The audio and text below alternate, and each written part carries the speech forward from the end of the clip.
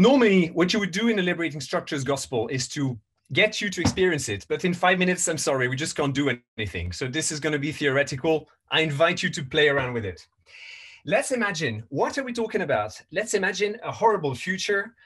By the way, I hope the slides will be made available. So um, because I'm going to skip quite a few. Yeah. So a horrible future where our online world is really terrible like this. We're exhausted, disempowered, etc. Because we keep copy pasting our practice from face to face to online, thinking it's going to be going to work just the same, because we're going to act in a static and linear way, because change never happens, because we're going to keep focusing on very tiny boxes that are completely disconnected from one another, because that's just more convenient. Because we're going to assume our work is anything but complex. Humans are just robots, right? Because we're just going to let the hippos run the show. And the hippos that's the highest paid person opinion. Because we're going to keep it very serious and kill the inner child we have. Never mind. Because we won't pay attention to online fatigue. There's no such thing, right? We don't stack up meeting upon meeting and interaction upon interaction. Not at all. So if we are facing a future where there is no risk, no different voices, no fun, no consideration for others, no adapting to reality, no notice for the powerless, well, not a great future. Is this real? Is any of what I've mentioned happening even remotely? Are we perhaps guilty of some of that? So what? So what can we do? Or so what does it mean rather? Liberating structures uh, at its simplest could be presented as a set of 33 participation formats, facilitation methods, but really it's a lot more than that. It's a language unto itself, a language of collaboration. And I'm just gonna uh, skim through some of the attributes of liberating structures. Actually, I'm gonna go to the next slides, illustrating with a different one of these different liberating structures for each of the characteristics. They're expertless. And so the 15% that you see is 15% solutions. It means the solutions you can put in place without any further resources, no additional time or money or capacity or go ahead, you can just do it. It's there. Resource focused. The little symbol there is for Troika Consulting, another structure that helps people in 10 minutes to crack an issue and in 30 minutes to do it for three people. Super nice, and it builds the relations. Rapid cycling. So the idea is not to actually give people a lot of time and to pontificate. It's rather doing very, very short bursts of interactions, possibly repeated. And this one is one, two, four, all. One minute alone, two minutes in pairs, four minutes with two pairs, and then a few minutes for everyone together.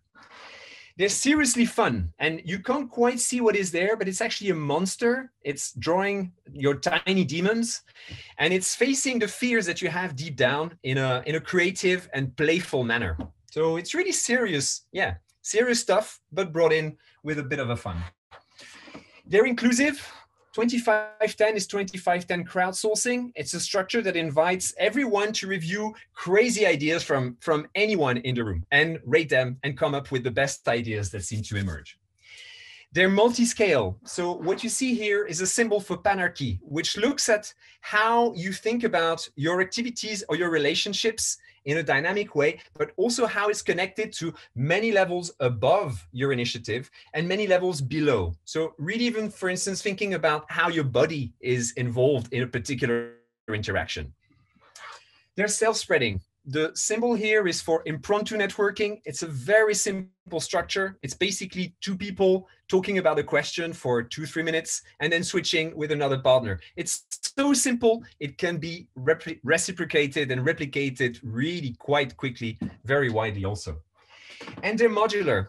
The, the flame that you see is for a structure called Triz, and Triz itself uses inside itself one, two, four all. So you can imbricate a lot of the structures together, combine them, scale them. They're just, there's infinite possibilities with them. Now, what if we use liberating structures? What could happen perhaps? Or what could you do? What could we do?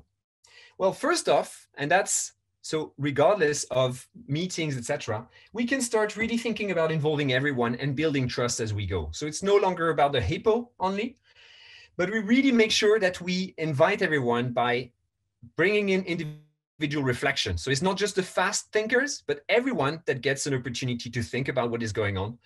That we also encourage small group interactions. So not always having, yeah, something in plenary format where again only the most comfortable speakers are gonna are gonna express themselves. It's about also avoiding to fall into interaction and also reflection groundhog day. So repeating the same type of interaction patterns by using the same formats all over again.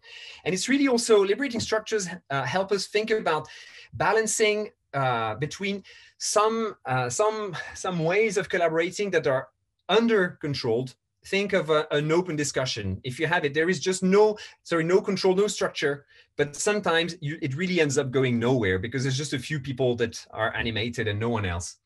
And the over controlled like for instance you know if we keep on having just presentations to one another for a very long time where is the space for people to actually engage and participate? So challenging us and I'll skip the min spec, but minimum specifications, a great way to come down to the bare essentials of anything you do, really.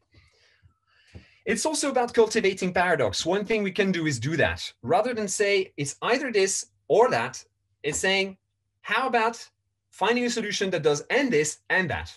So for instance, thinking about this online work, how is it that we are spending so much time online and we are still reproducing the same interaction patterns as before. Maybe there's actually some value in in finding reasons why we need to do that and how we can keep on doing that in productive ways.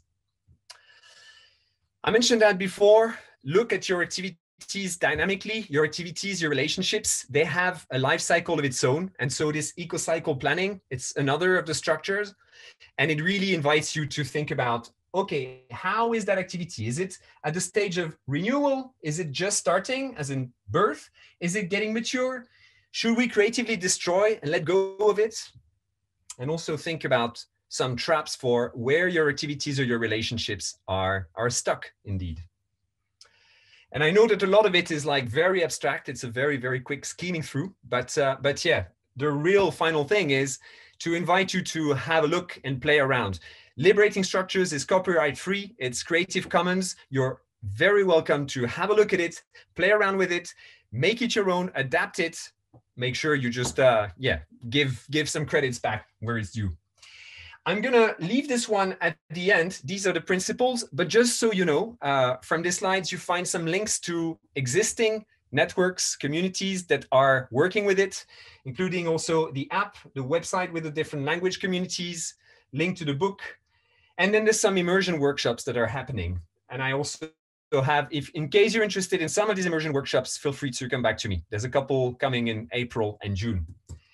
And now leaving you without commenting it with the 10 principles of liberating structures. I think in there again, for just any online work you're doing or offline work, there's a lot to be, well, to be borrowed from. And that's it for today. Sorry for the speeding. no, super. Thanks a lot. Thank you very much for this yeah, quick presentation. We really should have booked you for an hour or for two. Yeah, it is really, um, yeah, a lot, a lot to, to, to, to see and a lot to think of and a lot to make use of. Fantastic.